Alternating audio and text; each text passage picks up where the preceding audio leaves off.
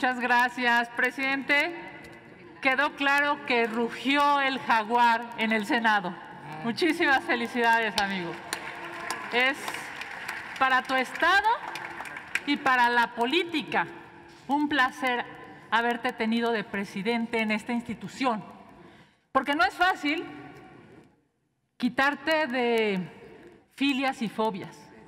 Porque es muy complicado aspirar a ser institucional cuando tenemos una carga ideológica y tú lo lograste, Lalo. Muchas felicidades.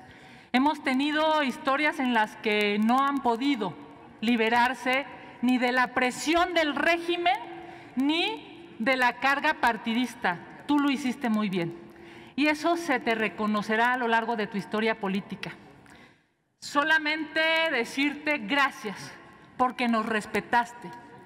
Porque aquí cada grupo parlamentario y cada mujer y cada hombre en este Senado representa a algo, a alguien, a mujeres en nuestras entidades federativas que quieren vivir mejor, a hombres que quieren vivir mejor.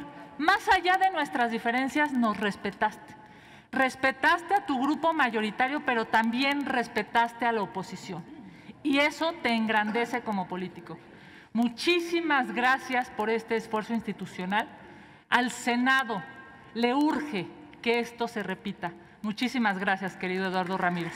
Gracias, senadora Kenia, por sus palabras.